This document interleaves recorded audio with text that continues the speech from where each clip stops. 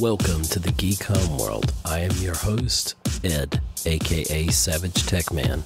We talk sci fi, TV, movies, superheroes, and all from a geek perspective. You can find us on Blogger, Google, Plus, Twitter, Facebook, YouTube. We're everywhere. Join the Geek Home World.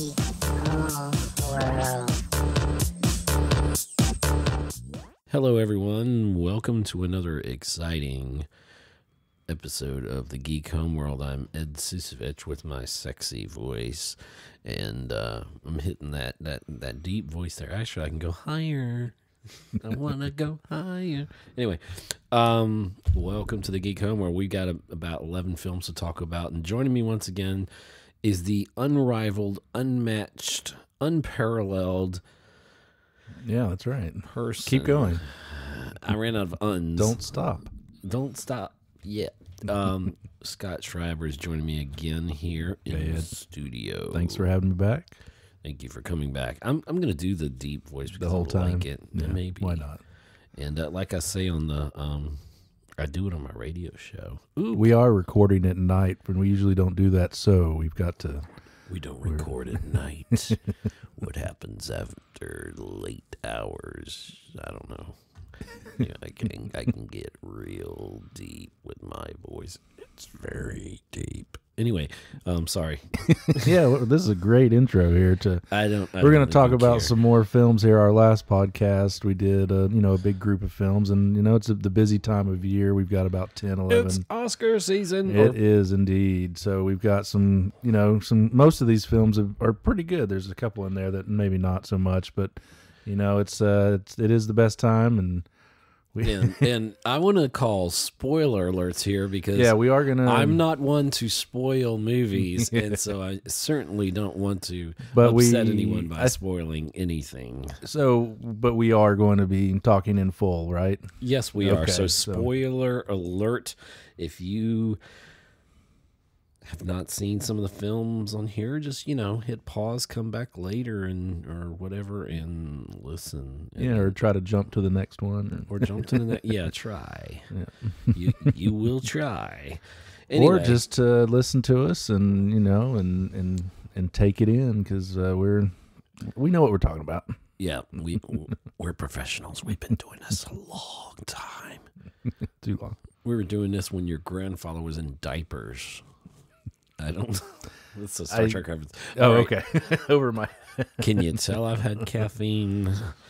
All right. Um, All so right, We're going to start with um, possibly the number one film of the year. Uh, we haven't done our, our top 10, which, oh, ooh, preview. We're going to be, once we, we decided, once we get into the 2020, the, um, and we can see things perfectly, right? That's right. We're gonna we're gonna uh, have our top our top films of 2019. We got to see them all, make sure we get them all in. exactly. There's still a few more to go that haven't come out yet. Yeah. it's December what? When I'm recording this, The it's 4th. December 4th, mm-hmm. 2019. So we're coming at you with that. But uh, we're gonna during 2020, we're gonna start releasing episodes. We've we're back to the 70s at this point, right? Yeah, we're gonna we're working on a top ten of each decade, and we're gonna go you know go back as far Yeah. as uh, I believe the twenties or thirties, and we'll- so those should be some good shows where we talk about our favorites of, of each decade, and uh, you know we've had a hundred hundred great years of film, so why not do that? why not celebrate it? And so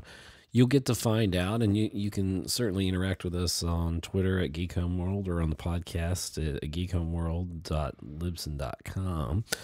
And we're everywhere, iTunes, we're all over the place. But um, you can let us know if you agree with our list or not. And uh, but anyway, we're starting off with um, we're kind of getting caught up on some movies because we both got down here in Savannah. You get the thing called the Savannah crud when one day it's 80 degrees and the next day it's 30 degrees and then the next day it's 60 degrees and the next day, you know, Mother Nature is off her meds sometimes and um, it happens that way. And so I, I was down for a couple weeks. I didn't see anything, and then you were you were still powering through. You I'm, got sick too. you know, steadily going through. I think uh, tonight we're going to cover, I think about the last two or three weeks of Right. new films. So So spoilers uh, ahead, beware. The first one could be possibly, and, and I'm struggling as I'm, we're putting our list together. Yeah, right now it's kind of hard to set it in stone, but Right. uh, the lists are fluid. But uh, I think for me right now, Jojo Rabbit um, Yes. is the best film of the year for me. Um, there's some other contenders there. There are, and, and there's one coming up. Um, it's going to be number seven on our list. Is a contender. Yeah, and so we, uh, you know, on our last podcast, we did talk a little bit about Jojo Rabbit because I had Right. seen it, but now you've had the chance to see it. So what did you think? Taika Waititi. Did I get it right? Close. Close enough. Well, that's that's that's how he says it. I'm saying it in the native tongue. That's Okay, good. why. Good, Um, okay. So, um, I was worried. Um, good old Catholic boy going in to see a film about Hitler and and and Hitler Youth and, and I'm told it's a comedy, and I'm like, when I first saw the previews, and you told me about it, and I saw the previews, and I'm like, this is gonna be dumb. I don't. I think this is just gonna miss the mark. It's just gonna be terrible. I was completely wrong. I went in and saw it, and fabulous film. The funniest film I think I see I saw in 2019. yeah, you're is laughing Jojo the, Rabbit. the whole way. I am yeah. laughing and and it's not and it's not stupid laughter, or stupid jokes or gags. It's No, it's really clever. it's yeah. well written and um it's possibly it's either my at this point and I, I've I'm not done my list, but it's either my number one, number two, or number three film of the year. Yeah, and, and it's very worthy. Yeah. And it's very worthy. Uh, Jojo Rabbit. I just we're blown away. My wife loved it. She wanted to go see it again. We haven't had a chance to go see it again, and I certainly would like to see it again. Um, I think it's a crowning achievement. And we we talked, and we may have talked in a previous episode. I think I mentioned that you know in 2008 when we were looking back through the decades and, and doing mm-hmm. our, our our putting our list together, we got to around 2008 and we realized from 2008 to the present, so 2008 to 2010 and 2010 to 2020, there haven't been as many comedies, standout comedy. standout comedies. Yeah. There's been Well, comedies, but and or even comedy like less comedies are being produced. I think the superheroes killed Iron the Man comedies. came and yeah, and the superhero, the Marvel universe, and not it's not blaming anybody, but it's just the trend in movies, and um, I'm not complaining at all. But yeah, we you know we don't have a lot of comedies out there, and um, it, it- think about it in the early 2000s. Um, we had um, what 9/11 happened, and we had co- we had even more comedies in, in a serious time. Maybe we needed to laugh, you know, once we, as a nation, at least here in the U.S., you know, got our bearings and. But that's another story, and uh, but that was just an interesting interesting observation we came across, and Jojo Rabbit was just so refreshing. It was so fun, and and it's a horrible time, everything that happened, you know, and um, you you were Jewish, so I, I was yes, just sir. worried how you, you you would you know, and I'm Catholic, and I'm like, I don't know how we're gonna take this, and how's this film gonna come across, and then none of that matters. No, when you go into it with the mindset that it that it is a satire, you know, It it's reminds okay me- to laugh. It and- feels Mel Brooksy, absolutely. you know, Yeah. in that vibe of things. But Jojo Rabbit, just a complete winner, very original, very um Oscar worthy for Yeah. something. and it's so tough to to balance the tone needed for this. You you're Exactly. the film is set during the Holocaust, so satire during the Holocaust. Yeah. doesn't seem like it's gonna work, but wow, does it? Like and Taika Waititi plays the imaginary friend who is Hitler Which yeah, so to to the young boy who's the lead in this. he write writes it, directs it, and plays Hitler. Yeah, and does a good job, a convincing job of, of that. he really does. And uh and so uh and Scarlett Johansson's great. Uh, Yes. Thomasin McKenzie, I believe, is the name of the young girl. Um, And, yeah. young Jewish girl. and- yeah, and there's some things because they poke fun at it, like when she's coming out of the, the little crawlway Oh, space so there, and her hands come around, her fingers come around, and you're Like like, it's "Ah, a like horror movie film, and uh, but my almost my favorite, and you'll have to help me if, if you know his name, but the little kid with the round glass is his friend. Oh, his buddy. No, I don't know his name, Oh my but gosh. he was great. Yeah. He- I'm telling you, it's Oscar worthy for uh, comedy or supporting actor or whatever. he should get a nomination. That kid, it was just his part is so well written. It's so in, intricate to um, oh, and, and- balancing and things. Sam Rockwell. Like I, I think we Yes. I forgot about Sam Rockwell the first time we talked about it, but he's he's hilarious in it too. Yeah, yeah, all, all around a great cast, a funny, funny film. If you want a film that you can laugh at and, And- not feel guilty about, and and poignant at the same time. There's several moments, and especially Very with good, the with good, the yeah. ending, and that and that's you know I think that's the big draw from this film. oh, I was, I was, you know, I laugh ninety nine percent of the time, and there's one percent where I'm kind of crying. So yes, there's a- know. there's at least one devastating moment. Yeah. and you know, and and but it's done so well. Like uh, Waititi set the shot up. He does this same shot with the, with uh, Scarlett, the mom's Scarlett Johansson's character, Mm. and her shoes. You know, at being eye level with the kid, and you see it once, then you see it twice, and then unfortunately the third time is a heartbreaking moment where you right, see it. But and um, it's so well done, and that yeah, scene he- in the square there, I was like, oh dear. And, so, uh, so yeah, I'm yeah. I'm rooting for this to be get a pe- best picture nominee or nomination.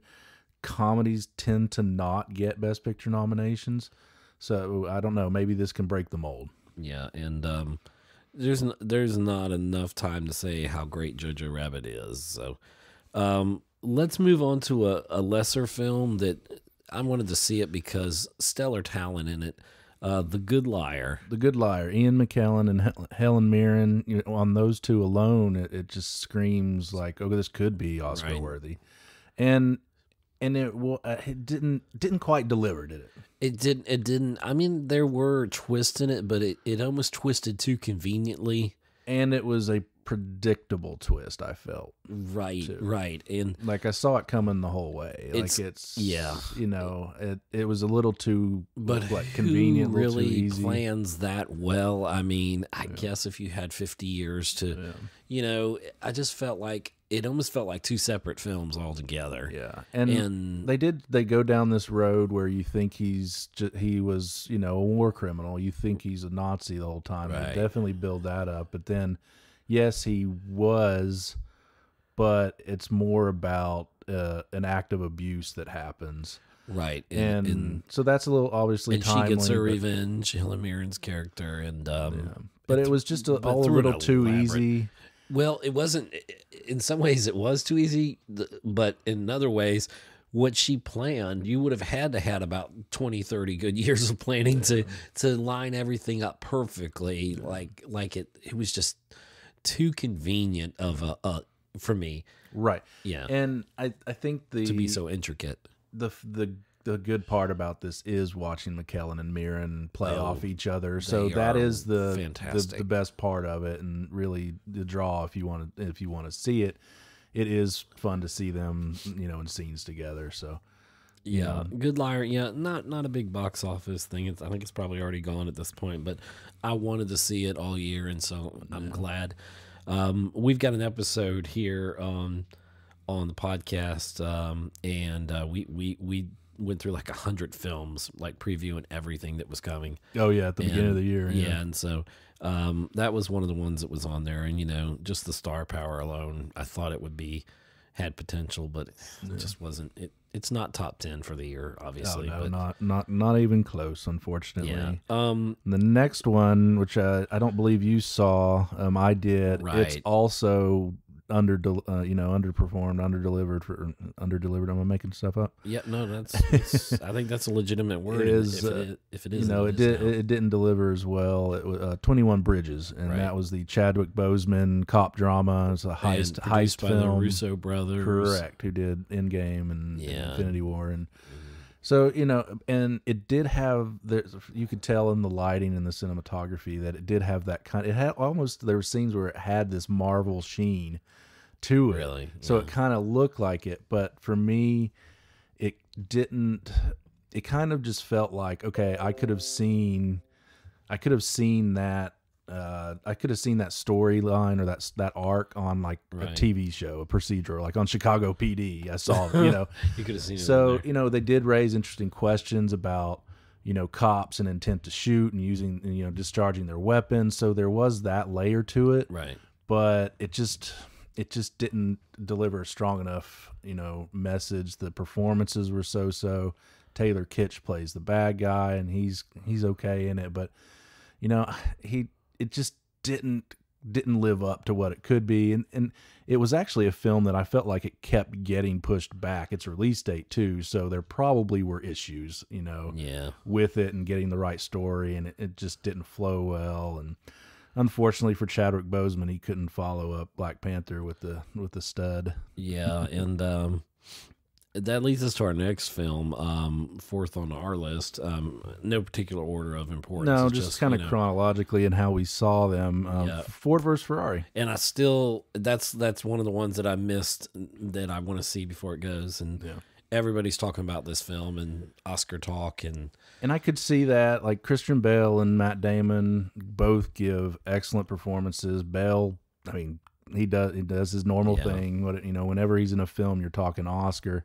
Damon, I do feel like this is his best performance since The Departed. Um, he he definitely does a great job and, and holds his own with Bale.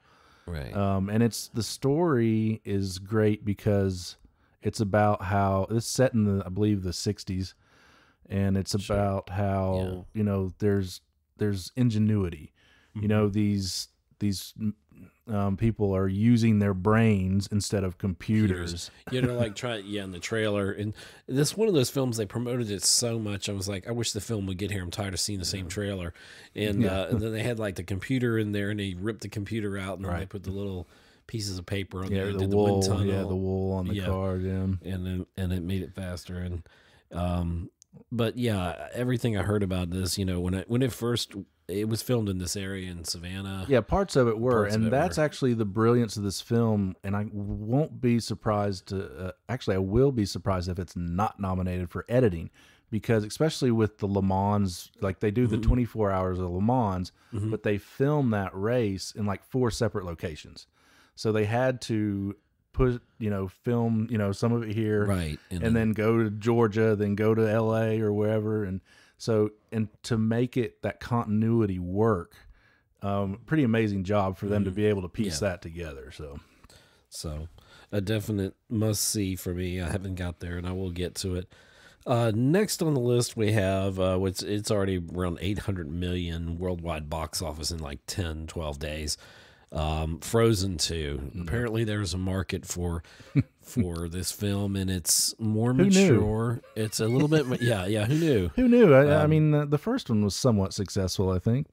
Disney's ninth. It's going to be their ninth billion dollar film this year alone. And if Rise of Skywalker ends up making a billion, if it's really taken well by the fans, Mm-hmm. uh, received well, um, it could be the tenth billion dollar, which And is I- unheard of. I'm really pleased to see this Frozen 2 do well because it's actually just outside my top 10. I thought they did an amazing job capturing the feel of the first one, Mm-hmm. but they also took the the stereotypical like characters and turned turned it turned it on its head like the uh there's a moment where uh, I can't remember his name um but the the guy that's with Anna, you know, Yeah. um, he comes and you know, quote unquote, saves her, but he doesn't save her. It he comes. she to- doesn't need saving by a man, right? well, basically, that's the, the idea. And but instead of like, it does feel like a moment where he's swooping in, but when he does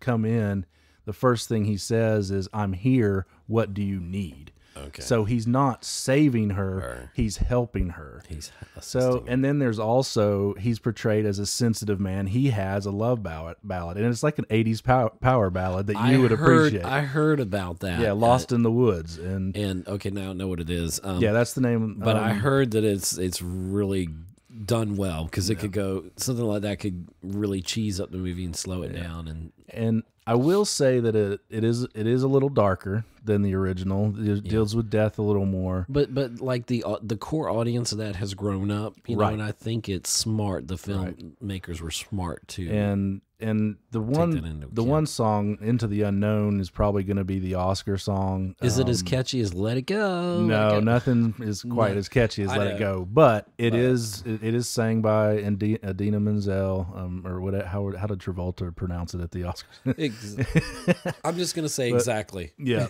So, but uh, no, that song's probably going to be the Oscar one. But I think Lost in the Woods, the power ballad, could could possibly get one. And there's a third one that's the the next right thing, is also a great song in there because it's talking about no matter how you feel, you need to, you know, to push past the grief, push past the negativity, and do the next right thing. And it's a great message for how to, you know, deal with grief. And you know, unfortunately, I do feel like a lot of Disney movies think everybody has dead parents, but um, Well, if you look at the motif, uh, I was talking. I was on set um, uh, doing some background acting yesterday, and uh, talking with with some fellow background actors and, and trying something new, and, um, and had a great time. And um, we were talking about. Oh, my brain! What did you just say? My brain just stopped. I don't know. So the- There was a tangent. I went out on that branch and then I fell off the branch of my. yeah, thought. that's all right. I was talking about the the grief and dealing with that and moving past that, but uh, Um, it may not be that important. it we was can- related to that. Uh, wow. Well, It's this is- okay. It's been a long day, right? You were is- on. No, you were on set. I was on set. Yeah, I know, but I was trying to think what the purpose of saying that Okay, because we were talking about something you just said. that's okay. So I don't know. it's Um, obviously not that important, and we can move on. move on to another great film. It's going to come back to me, and I'm going to mention it. No, it's cool. Yeah. I'm sure it's, That's how it works. yeah, that's how my brain works. Uh, barely. Um, probably, definitely in my top five films. Um, Yeah. At some points I could call it my number one film. At some points, my number two, my number three. I don't, I don't, hadn't done my list yet, but the next one we're talking about is a beautiful day in the neighborhood. The Fred Rogers, Mister Rogers story. Yeah. Tom Hanks, it, and you, you'll explain in just a second why he, he wouldn't get nominated for lead actor, uh, why he would get uh, supporting actor.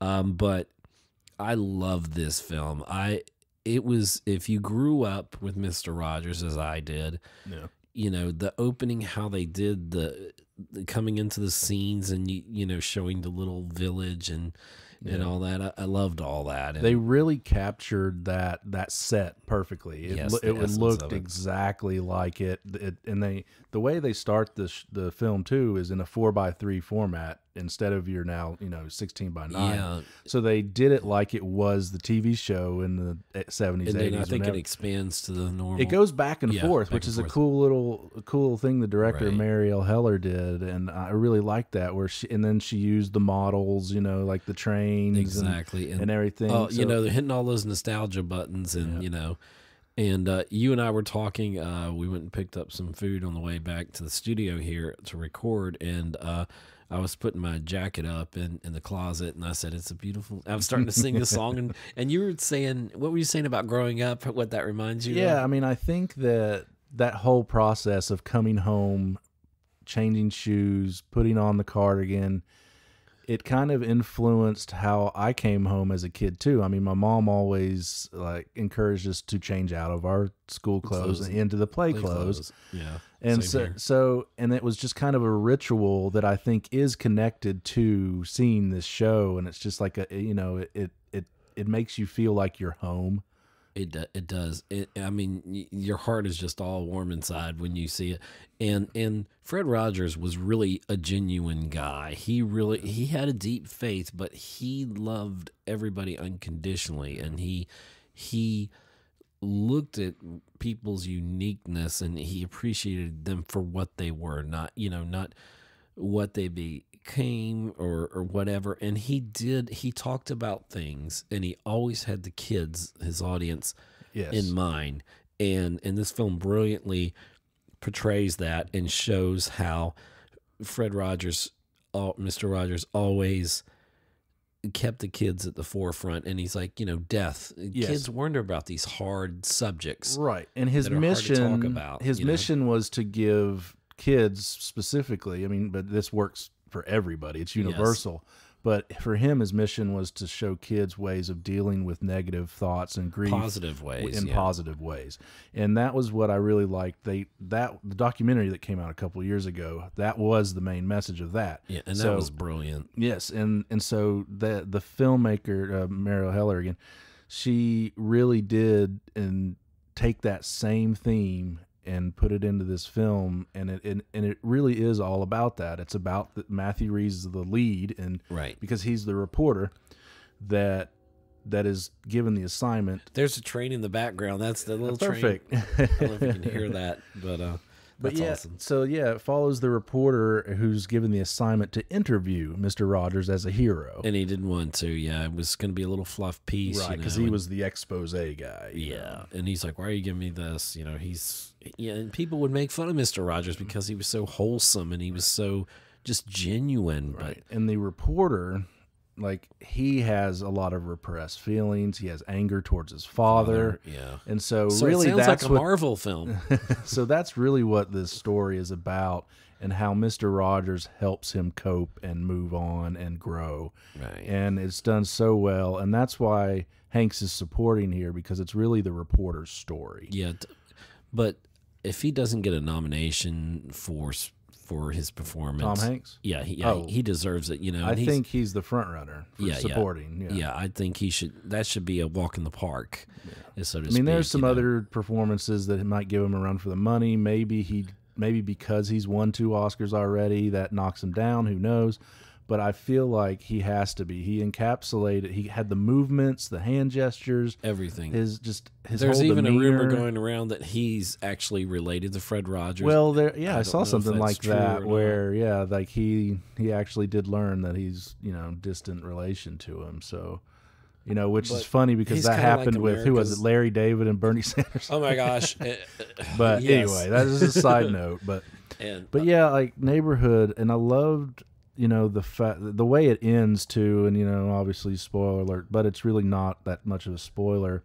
You know, he, Mr. Rogers, you know, the, in here he talks about how to deal with your negative en- en- energy and your negative emotions, and he says something about banging on the keys, you can hit the keys like dun, right, to get that those emotions out. And We there's a beautiful yeah. moment at the end very end. Yeah, where he's playing he's just by, him by himself he's on the set and the lights are coming going low so you know it's the end of the movie and he's playing this beautiful melody and all of a sudden he stops and then bangs the computer or computer computer. the, the piano and so at that moment he had a dark moment just all of a sudden and that's and that's the and that was the that for me that was the application of what he said someone like a child could do or something as, an ex, as just one of many examples like you could go swimming you can do this you can do that you can um you know all these creative ways to get your anger out positively. Right. and kids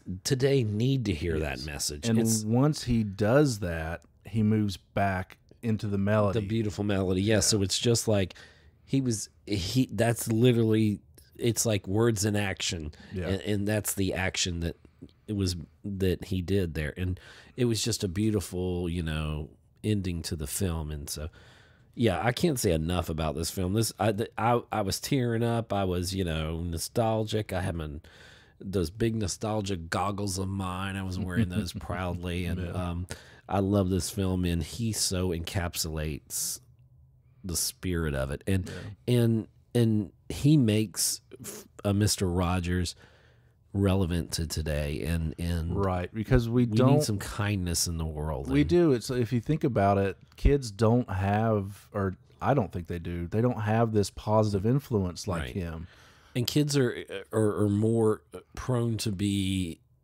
you know put childish things away at, at, at an earlier age you know they've got their tablets and their whatevers and they're streaming this and watching this and seeing content they shouldn't see and they're on you know the internet and other places and social media and you know growing up we didn't have all that you know we and we had someone like Mr. Rogers you know that that uh, kids don't have the nuclear family as it was and there's a lot of broken homes and a lot of broken people out there and those broken kids grow up to be broken adults who raise broken kids. And and at some point i think it, it's important that that you know we wouldn't have all the, the social issues a lot of them if we had someone who's positive like like this. So i know i'm droning on but i can't say enough good about beautiful day in the neighborhood with tom hanks. And Yeah, I, I, I, don't be surprised to see it up for a bunch of Oscars. Yeah. Um, the next film on our list, I finally got to see. You got to see it at the SCAD Film Festival. Correct. Yes. And you told me I'd have to do a lot of reading, and that's not my favorite thing.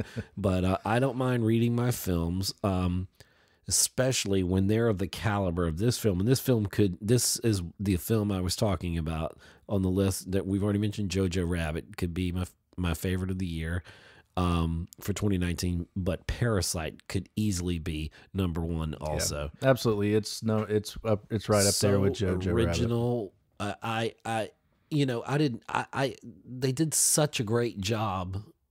I'm trying to get my words together. They did such a great job telling the story, right? And it moved at such a, a good pace. The pacing is great. It's perfect. It's just not like the movie we just that we'll talk about later that we literally just got out of that I thought had terrible pacing and but we'll talk about that later.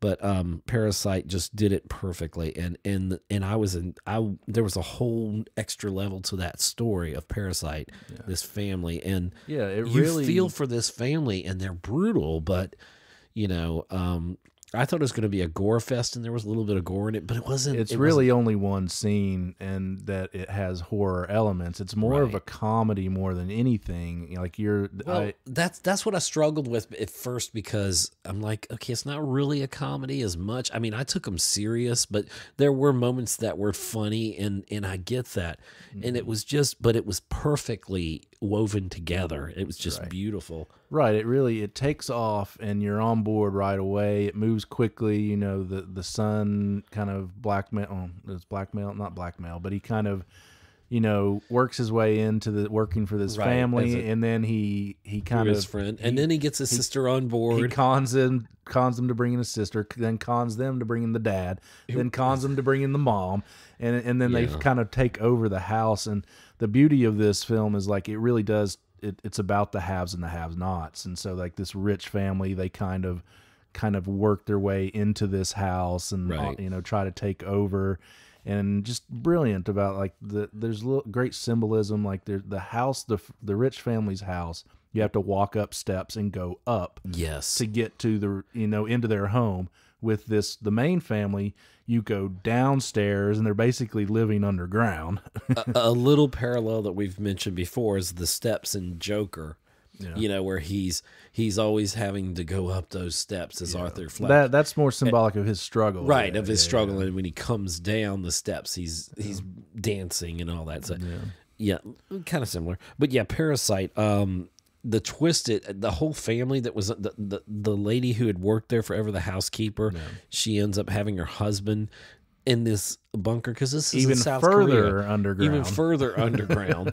And um did not even I didn't see that coming and I'm like oh my no gosh not at all and that's the beauty about this script too. This it, it, and it I don't know I don't have the numbers in front of me what the budget was on this but it didn't have to use special effects or, high no. special effects. No, the cinematography is great. The, it's wonderful, it, and they were the production to, design. I mean, just, yes, yeah, definitely. Yeah. And they were living. You felt like like when they sprayed down there at like ground yeah. level, and the people were outside, like free, fumigation. Yeah, and, and and, and you know you felt for this family, and then later on when they their home gets it's raining and flooded, which flooded. is another symbolic moment with right. with water and everything. Yeah, so you know they're either got their heads above water below it, you know, figuratively and almost literally.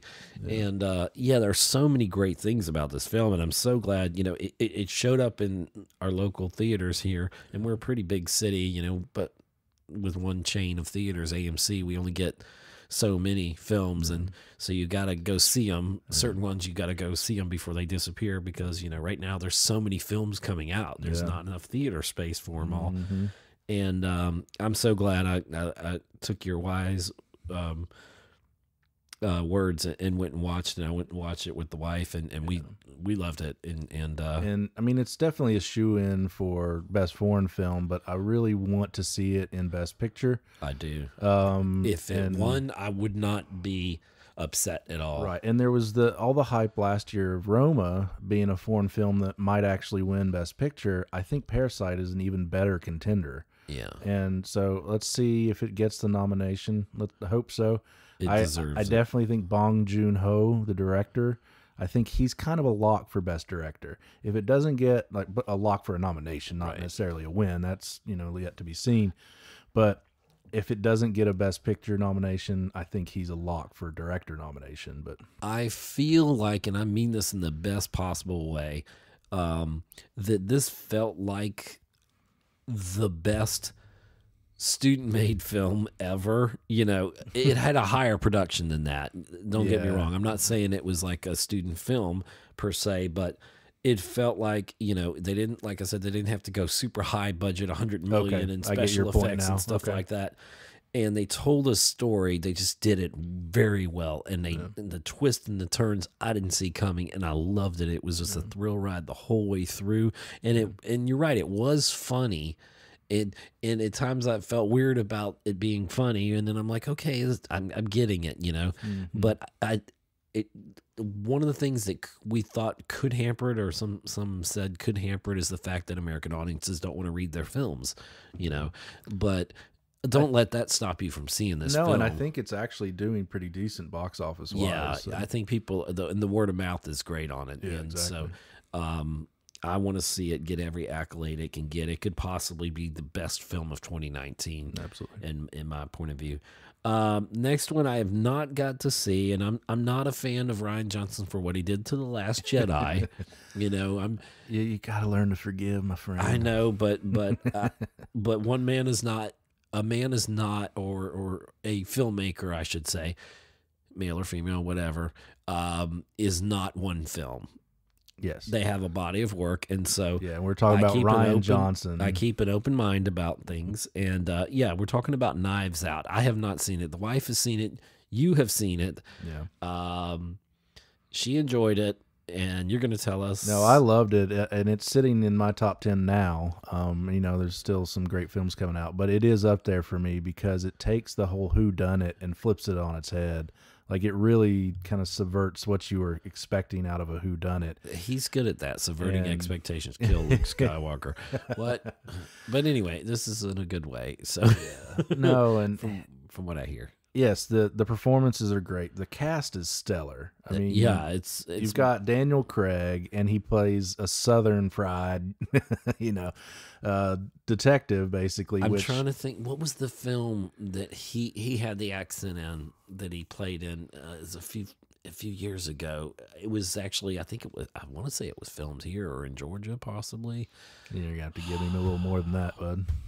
He had I think there were some bank robbers or something. Lucky Oh, Lo- yeah, the Soderbergh film, uh, Yeah, yeah. Logan, Lo- Logan Lucky, yeah, Lucky Lo- or something Lu- like that. Lucky Logan. Sure, Yeah, okay. those two words are in the title. Yeah, exactly. My, my brain is, but yeah, he had that accent, and I, I, but this is a little more believable accent. yeah. Even though I didn't, I don't really believe his accent so much in Knives Out, but I don't think that should But deter you from seeing He's the film. so good in this. If it wasn't a crowded year for Best Actor, he could be in there. Yeah, and and who knows maybe they they say he's supporting but he's top billed on the credits so i doubt they even call him supporting. And um, just to yeah. Oh, so I'm you sorry. no yeah i just kind of want to go through the cast. You've got jamie lee curtis you got don johnson you got ana de armas delivers and she's considered lead here. She delivers an amazing performance here. She's my dark horse that i want nominated for best actress for this. She's so good in this. She's so good. And then uh, who else is in that? You've got oh Chris Evans, Captain America's in there. He's great in this. He's trying to play against type, you know, not giddy Yeah. giddy, I guess. you but- got Lakeith Stanfield. You You, oh. have Toni Collette's hilarious in Wow. this. So no, it's a and you said Jamie Lee Curtis, yeah, right? absolutely. And they all deliver. You know, it's like it's not too much that you have all these people, and it is kind of like Yeah. Clue. They even make a little joke about it. Um, and it, it the pacing is great. It moves along. It's fun. You're gonna smile and you're gonna have a great time watching this movie. So yeah, definitely, definitely see it.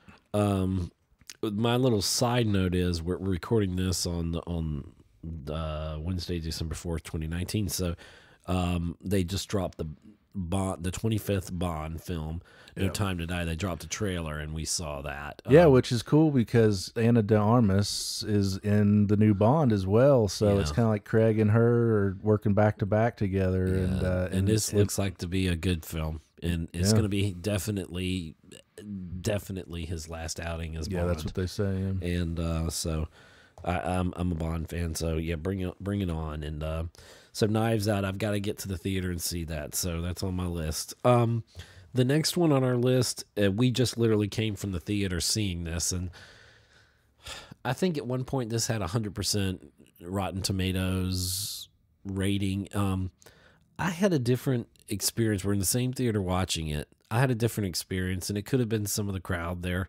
uh, which wasn't much. But yeah, we um, did have a lot of people talking throughout the Throughout the movie, which can and- definitely distract you, and you know, and, and you know, it, but but we're talking about uh, Queen Slim, Queen and Queen Queen and Slim, Queen excuse me. and Slim. and for me, it started off um, strong. It did like you. Yeah, I agree because they they set up the characters briefly but effectively. You Yeah. know, you know who these people are by that the end of the first scene. Right. You know that Daniel Kaluuya's character is a faithful man, a good person, and so you know that kind of sets that up. You you know that Jodie Turner Smith's character is a defense attorney. and she's very rigid. Yes, very rigid, Especially and, towards and they basically come together on a blind date, a Tinder date. Yeah. Um, and then this horrific, you know, incident happens where you know they have to, in self defense, they end up killing a cop. Yeah. Who And- is white, and so you know, there's the the racial dynamic of that, and Right. um, and that plays throughout the film, and, and is in, integral to the to the plot there.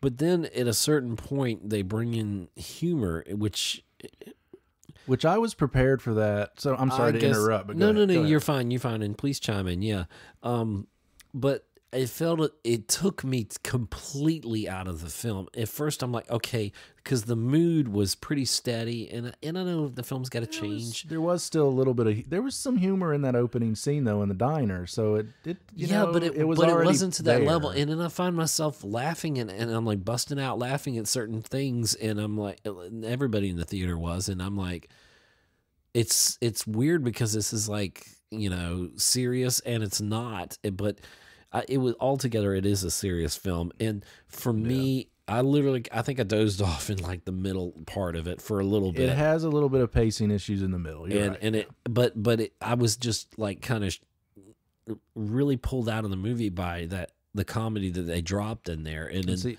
and I'll tell you why I was prepared for this. sure. Because the writer, the screenwriter, Lena Waithe, she won an Emmy for writing an episode on Aziz Aziz Ansari's uh, Netflix show Master of None. okay So there's she is a comedy writer.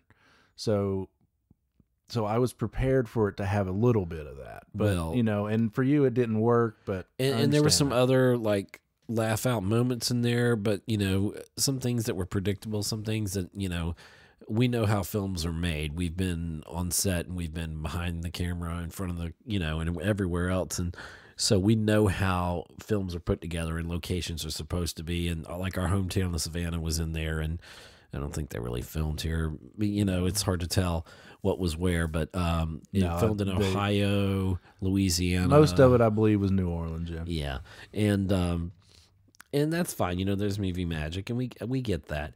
But um, I don't know. It just eh, I get to the way I look at the film overall.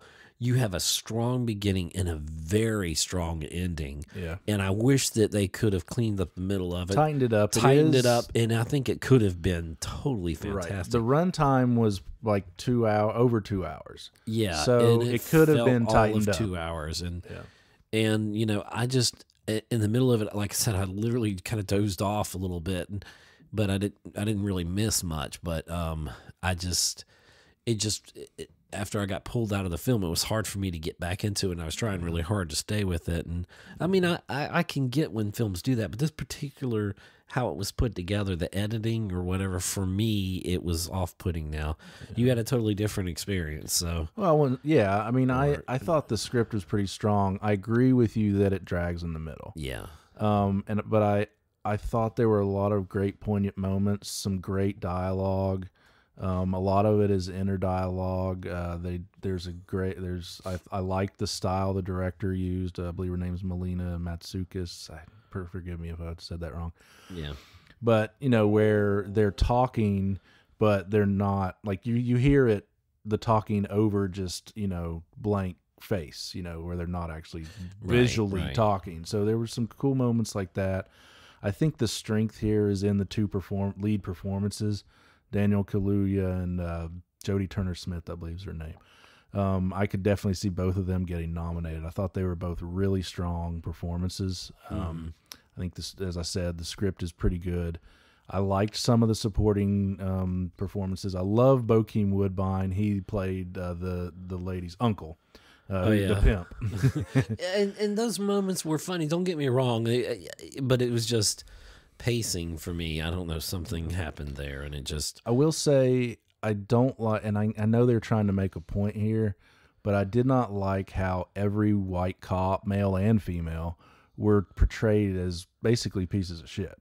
Yeah. And And there were people in the audience that were laughing. that when- bothered me when Yeah. yeah. when the when the white when the white cop is shot there's a shot of like him laying there dead and there were two people laughing at it and that kind of hurt a little bit it was like oh god like and i understand like i'll never know what it's like to be a black person Yeah, but i still wouldn't laugh at somebody lying dead right. You know, no so- who they are. Yeah, yeah, so that kind of bothered me, but I I do think it's a powerful film. I think it will resonate with certain, you know, certain um there was crowds, a la- lady sitting like like literally in front of you.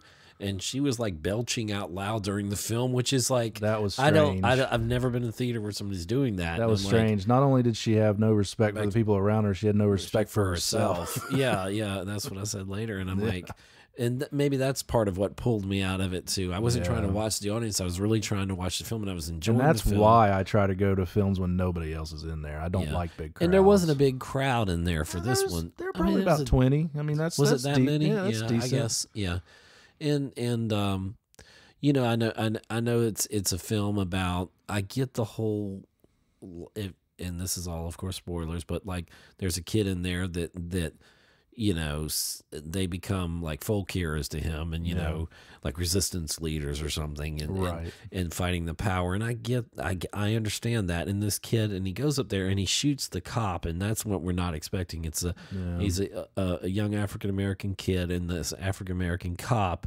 which is good. You know that they showed that they showed the other side of it, and you know it. And and that gentleman, um, and the cop, he a policeman, he he's like, I don't want you to get hurt. He's like, please just go home. I don't want to have to arrest He's you. he's doing everything he can perfectly to de-escalate.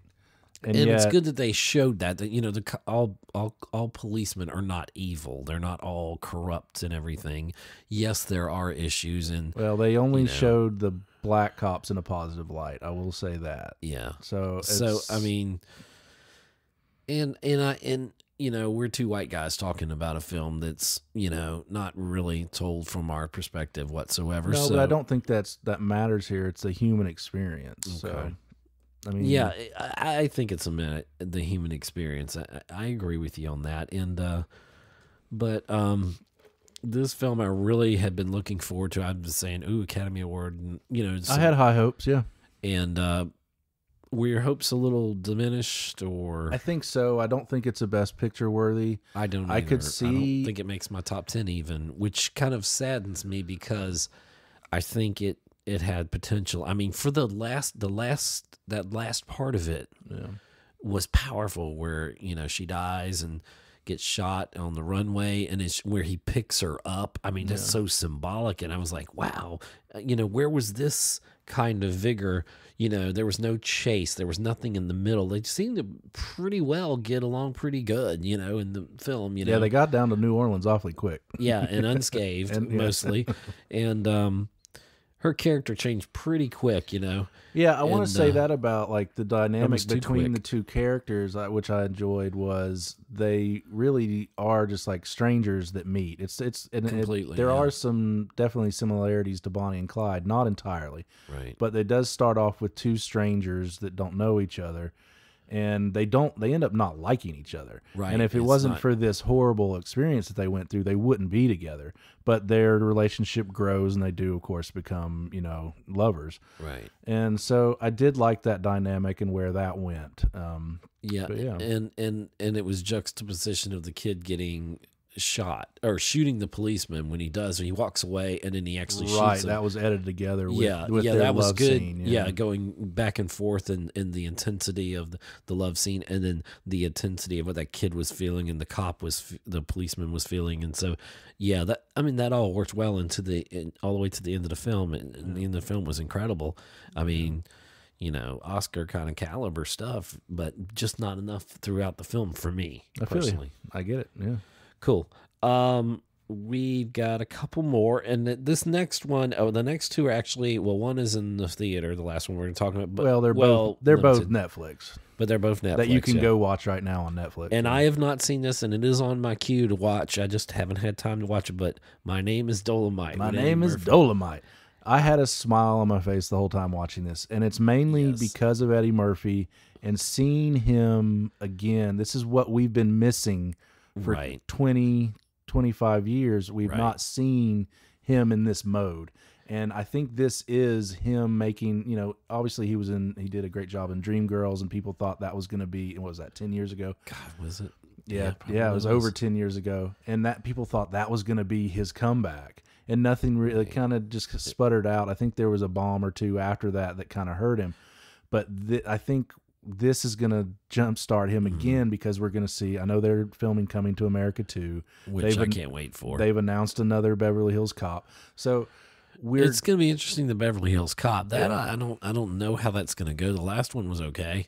Yeah. Um, you know, But- but this know. when I- you see this, you'll see what I'm saying. It's like right. he is he's back in that you mode. like he's got that. Yeah, he's, Yeah. he's got his mojo back. right, and, like uh, and I think it's I don't know if it's quite good enough to be nominated for best actor, but there's word that he could. There's buzz around this for it. So, and I don't think it's a best picture or anything, but it's a fun movie. It's funny, and it's uh, and it's a movie about filmmaking too, and fall and the So- American dream. right. So it's he really does a great job. It's exciting to see him. So do- it's it's almost a it's a super comedic look at um what's the DiCaprio and uh, Pitt film? What's it called? Uh, Once Upon a Time in Hollywood. You know, it, it- they're not at all alike, but it's No. like I'm just saying, like, well, this is same this time is- period though. But they're talking about Hollywood, and you see behind the scenes. I don't know. I don't know. Yeah, no, it's it's I haven't seen it yet. I'm go- I'm definitely going to see it, man, yeah. and uh, I may check it out tonight. Um, the next one is The Irishman, right Which, and we'll end on here we may Right. you know touch on some things that are next but but this is our our last film of this podcast the irishman also on netflix right now. Um i think we're both somewhat underwhelmed by it. Yeah, is, is I, that fair to kinda- say? um, the wife got through about the first 20 minutes of it and then she she's like "I- i'm gonna take a break and i think she's getting something to eat or whatever we're watching on netflix. And then i said yeah i was holding it for her. She's like you can keep watching it. I'm, I'm done with it. And and um and to be fair it's, she's probably not the demographic this is going to it's Probably it's- not. it's You know, more uh, you know me I you. love Scorsese, even though he doesn't like Marvel and uh, you know all the controversies of what he said, and he's walked some of that back. And um, I know that people have been kind of taunting him with their cell phones watching The Irishman on it because he had no idea that you know you have the four picture four weeks that the picture the, the film has to be in theaters as part of this Netflix deal. that, You know, and Well, then to- and it's only select theaters at best Yeah. and um and then then it runs simultaneously on Netflix, of course, where you can stream it on any device, you know, like Netflix. yeah and the whole Netflix. reason to put it out in theaters is just so it can be oscar and that's and it, that's how he kind Academy of he, Award. he said that he said he had no idea that you know people watch it on their phones. He's like, please don't watch it on your phone. Please, please, please, please go to a theater and see it. Well, it's not, or, or watch it at home yeah and break it up if you have to. the- take a break. Yeah, the issue is, is, long. He's realized- three. It's three and a half hours, Hours long, and. I think everybody knows that by now. But I think he he was so. I guess he's so used to being in the Oscar talk right. that maybe he really just wanted this to be a film. And I, don't. I, I don't. I can think, understand I, I hope how that, he made it. I hope that sorry. that Scorsese doesn't like uh, that he's not driven by accolades, but this really would have been much better had it been a four part limited series. Don't you agree? Yeah. I mean, and that it would have worked so much better. And like, and I actually saw somebody posted like, here, here's how to watch it in four segments, and it was like, That's awesome. It was perfect. But I think the strengths of this film though are the performances, the especially De, uh, De Niro, Pacino, and Pesci. They, you know, and there's some. Oh my gosh! And the de aging works for me. I know It- some people it said did. it. there- there's, a couple parts- of moments that don't look quite right, Right. and his the blue eyes kind of freak you out because you don't Now- think of De Niro with blue eyes, but he's playing an Irishman, so kind of saying had to do that. saying saying this about the Irishman, Pacino just made it for me. And De Niro just he he's that steady character through it all, and you need that for the story. And he's De Niro's great. You know he he doesn't have to do anything or prove anything, just like Pesci doesn't have to do anything. But it's great to see Pesci in action. come out of retirement. Yeah, yeah, and and and the de aging, like I said, for me on the most part worked yeah. and um but to but for me it was Pacino when he was playing Jimmy Hoffa and he just he does Pacino as Hoffa. And and that's I loved it every time he was on the screen I was focused on his character more than De Niro's and you know De Niro but that's the nature also of De Niro's character that he was kind of you know steady he was the Well, yes he's- guy but he had a conscience Right, he's the he's he's Hoffa's bodyguard, so Right. he has to be a little bit subservient. Yeah. Right, and and and, and he was like a best friend to Hoffa in this, and you know I don't know how true all these events are. No, I've whatever. done some reading about it, and there's this. It's really just speculation. It's based on a novel called uh, "I Heard You Paint Houses," which is right. you oh, that's his- one of the first lines, or early in the thing. He says, which is do you do, code for you know killing people. I know and- that now. Well, know. but then there's a dispute that like nobody's ever heard that before, and that this guy just made that up. But but from what I've read, and and then he's unreliable. I mean, he's a he's a mobster, and he could just be like wanting to get glory in his last days. Could be, Because yeah. So there's a lot of speculation. Yeah, there's a lot- there's how a- much of this is actually true. But it's it's a film though, you know. It's it doesn't have to be true. It's just it's an entertaining film. and it is good. It is not. It's not a piece of trash. It's not No. terrible. It's it's very good filmmaking. It's better than most films this year. Yes. It's just my knock on it is how long it is. It shouldn't it just it and it feels that long. Some people said you could chop 30, 40 minutes out the middle and you'd be Oh fine. my god, at least. I felt that about Queen and Slim also, but on a different level. But you know, And I with going yeah, with Irishman it also it's like when it and when it pops up and it's like I love that I did kind of Oh, like yeah. the little it's like killed, you know, shot three times in the head. It's like everybody It's like funny, all know? these people it's like oh, okay, they get murdered later on. I have a feeling Scorsese probably filmed all those scenes and they just had to cut him out because he was already over 3 hours long. and they're know? like, because I think you don't get enough Keitel. Yeah, Um, that's true. you don't get enough there has been some some uproar about anna paquin and her you know not ha- like saying only seven words in the movie. Well, but that's kind of the point of her character. Her character because she's scared of her father. She has no relationship with her father and doesn't talk to her father. Yeah, so that's kind of the point of that character to begin with. So it's like that backlash is kind of you know a little unfounded i think that you know that's that's her character but you know, I would. I mean, if De Niro gets a nomination, that would be wonderful because this is the easily the best thing he's done. Oh Lord, in Since- 25 years, Yeah, probably yeah. since Heat. Po- yeah, very possibly. You and, know, and and Pesci, you know, is great. Um, but for me, Pacino. No, oh I my gosh, I don't. I you know I can't remember the last good, uh, really good thing I've seen Pacino in. He doesn't do much, but He's done some like done H- HBO movies and Yeah. miniseries. He played like Phil Spector and like he's He done a did, couple you're of right, stuff where you know that that were pretty good.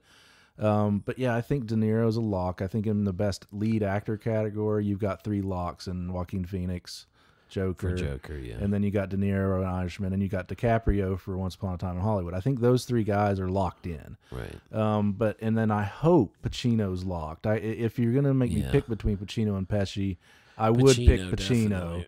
But I hope both of them get nominations because That those three guys, those are those are the strengths of this film. Oh, definitely. And I could see it getting a visual effects just for the that Yeah, whole if you had a if you had a different crew uh, or different actors in those roles, right.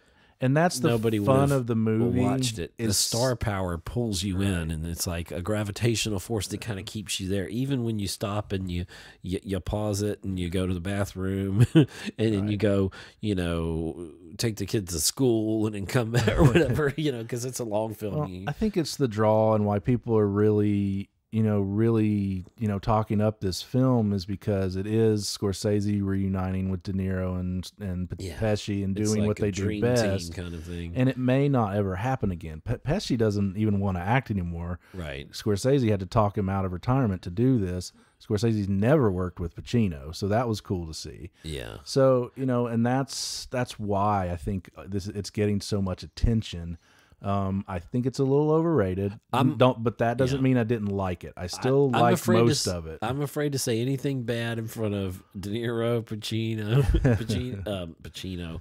I'm putting their names together now. Um, Pacino, Pacino, no, Pacino, and um, Joe Pesci because mm-hmm. they'll all break my legs and everything else. So they just seem like total badasses Well, in this film. yeah, and, you well- know, I know that's the characters, and but they know are another such string, great actors. another string, and it helps too is the the hair and makeup was you know was really was spot on. was really well. maybe done, maybe so. it should get something for that. You know, a No, I could see too. that, I mean, I could. They captured the period time periods when they did all the flashbacks. I thought they did that well and set design, everything. You know, just everything was on point with this. It just wasn't it wasn't the great masterpiece maybe I was hoping it to be because we we had big it's on our our top films or, or not top films necessarily or may or may not be but on our like 100 films that we previewed for the whole year the irishman you're like don't forget about the irishman and mm-hmm. i didn't know anything about it you know back then i had to look it up and so to see it you know i, I think it's been a learning experience an eye-opening for scorsese and how films after he said all the stuff about marvel and and those films and then walk that back and now he's he's seen um you know how the irishman and, and how technology now is consumed it's it's an interesting it's changing. it's, changing. because the way we view movies are changing. Right. You know, people are watching more stuff on their devices than than they are. People have cut some people have a lot of people have cut the cord. They have five or six streaming services and they're going bankrupt in the process and loving it. Yeah, right. but uh yeah, Irishman very good, but just a little too long and it was it was very it was it was almost to the extent of um I felt it was a little like fan service to an extent in a way I felt like he just overindulged. Well, it's a little self-indulgent, maybe. yeah, self-indulgent. That's what I'm, I'm reaching I don't for. think it was necessarily fan service. I think it was Scorsese service. Well, that's I, yeah. That's th- thank you for helping me phrase it. That's kind of what I was trying to get at. I can find the words, and uh, yeah. Um, so what's coming up as we roll towards the end of the episode? yeah, we won't go too far into it. We'll just like I think there's some more that you know that are coming up that people should keep an eye out for. We've got 1917, the war epic from Sam Mendes. Looks awesome. Which will be cool because it's supposedly shot this one long tracking shot for two Wow, hours. that is obviously they didn't do a two hour long shot. Right. There's going to be some creative editing there, but still the idea is pretty cool that it's one long tracking shot for two hours in a war film. So Yeah. that'll be cool. You've got Greta Gerwig's Little Women um, coming out. I think that's going to be a strong contender. Mm-hmm. You know, I love my girl Saoirse Ronan. yeah. Uh, Florence Pugh's also in that. She could Pew, uh, pew, pew. getting a lot of buzz for that. Uh, Which she needs a nomination for. Midsommar. Like she really should be up for best actress You, for that. you dragged me to that film, and I'm glad you did. It was it was not something I would have normally gone and seen, and and yeah, that one's not going out of my top ten. That's in my top probably ten. not this going year. out of my top 10 and that's uh, kind of surprising for me but so anyway We've also there. got Just Mercy, Jamie Foxx, and Michael B. Jordan. looks Um, very good I think that it it's going to be powerful, but it's also kind of a story we've seen Dead before. Man Walking, You've got said. Dead Man Walking. Yeah. You've got the Hurricane with Denzel Washington. It's got that same kind of. it's so weird because I, I said this uh, we weren't maybe recording when I said this but when I first saw it I didn't realize that was Jamie Foxx I was like oh it's Denzel and I don't know why I just went right to Denzel but maybe it's because of the of the hurricane. and um but then I caught myself and So that could be good. It also has uh, Captain Marvel in it. Brie Larson's in it. Um, so it, it it could be good, but I think that the knock on it is probably going to be it's not that original because we've seen movies like it before. Uh, and then we've also got Marriage Story um, comes out this weekend on and- Netflix. and who's that That's with Scar- Scarlett Johansson and Adam Driver. It's a Noah Baumbach film. Uh, uh, it's about this this couple that's going through a divorce. You know, it doesn't sound too fun, but evidently these two lead performances by Johansson and Driver are are really well done. Driver seems like he might be the fourth lock from all the talk for that. So we'll see. It's a it's a it's a comes out this weekend, so we'll we'll have uh, news on that here soon. And then uh, the last one I think might sneak in there is uh, Clint Eastwood's Richard Jewell about the Atlanta bombing, the 1996. Uh, I want to see that. Yeah, I I remember that whole situation, but I don't. You know, it'd be nice to kind of. It's kind of nice to go back to that history, and you know, and, and you you made a very important point. You said, yeah, it, we were talking about what films could be Oscar worthy, and you said, yeah, and then East Eastwood just decides to drop a film. He on do, us. he seems to do this. Like he sneaks in at the last moment and like and gives us a film that nobody even knew was coming, and sneaks in and like the and they're usually pretty good. yeah they are the best example of that is American Sniper and uh, yeah, but I I think Richard Jewell could surprise some people. It is about the media and and you know fake news I guess in a way. which is a Um, thing, uh, you know. so- so- or you know, you can fake videos even now. So you and know, then the, the guy, I think his name's Paul Walter Hauser, who plays Richard Jewell. I think this is kind of a breakout moment for could him. be, yeah. Um, so I'm definitely interested in seeing that. So I think those are your your biggest contenders that still haven't come out come out yet. So, Um, I, this isn't probably on your list. I think we probably talked about it on a previous episode, but just just to remind everyone listening, and especially myself, Honey Boy, what did you saw that? yeah, Is SCAD Film Festival, and yeah. and I was excited to see that. I I missed it if it even came out in theaters here. I missed it. I wasn't able to go to the film festival, but uh. What were your thoughts on that? Because I feel like that could be the breakout, you know, screenplay or Yeah, that's where I for- see it. I think Shia LaBeouf could be could have two nominations uh, for screenplay and then supporting actor. I don't see it getting much other than that. Yeah. I think it is a great film. Let's see. I think I have it right now as my number thirteen. So I mean, that's that's up there. That's pretty good. Um, but I just I, I think it's going to be on the outside looking in for the bigger awards. But I think screenplay and supporting actor are definitely within Shia LaBeouf's reach. So and and that would be good to see for him, you know. And uh, he's really like he did Peanut Butter Falcon, which he filmed down here in Savannah, and he got into the trouble with the police, and but and he recently won an award for, I think it was for Honey Boy, I'm not sure, and he he credited our police department down here for um helping him turn his life around, you know that experience, and you know he apologized for that, and he and I really in in Peanut Butter Falcon was really good. It, it was more than just a Huck Finn story, as I mm-hmm. said originally. You know, it's, yeah, I was just trying to. it was definitely a, a feel good movie. It was a feel good film, and the gentleman that's in that could possibly get a nomination.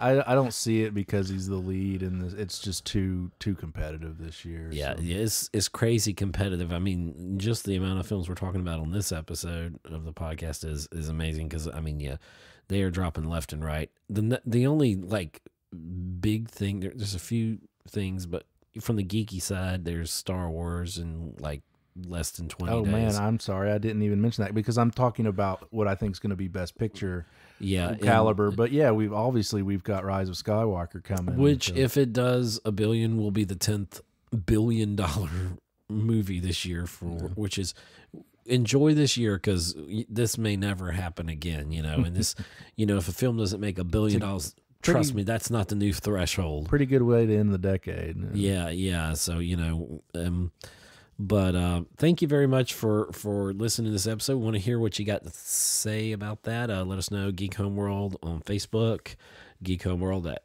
on Twitter, and Yeah, uh, and don't forget we're going to come at you with the best of the decades here in the new year, and we'll Yeah. also do a best of this year. We'll do an Oscar preview, Oscar Yeah. nomination prediction. Maybe we'll Yep, got some stuff coming down and, the pipe. and you always blog for us around Oscar time, so Yeah. and they're always very well received. So Appreciate uh, it. we got a lot, a lot of things, um, a lot of good stuff coming to the podcast, and and thank you all for listening. We really appreciate you. Uh, GeekHomeWorld.libsyn.com. We're on iTunes or Apple Podcasts as uh, Geek Home World. That we're Geek Home World, so we're everywhere.